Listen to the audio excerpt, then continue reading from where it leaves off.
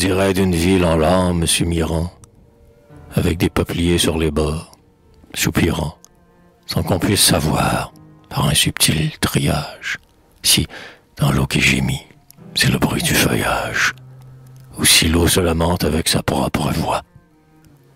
On dirait d'une ville aux innombrables toits.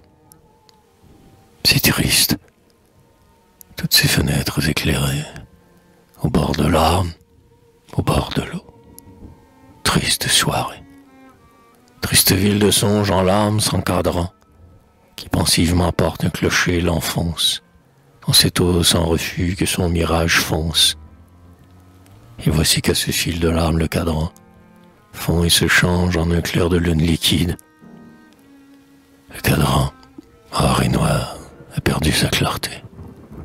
Le temps s'est aboli sur l'orbe déjà vide, et dans l'âme sans heure on vit d'éternité.